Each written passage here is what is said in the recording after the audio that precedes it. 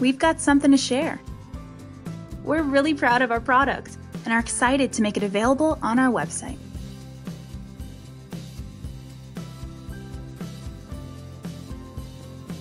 Check it out now.